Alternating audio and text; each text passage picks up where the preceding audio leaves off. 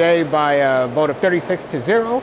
Uh, the Connecticut Senate passed a bill extending the um, sexual assault uh, statute of limitations. Uh, what it does is it takes the statute of limitations from five years to 10 years.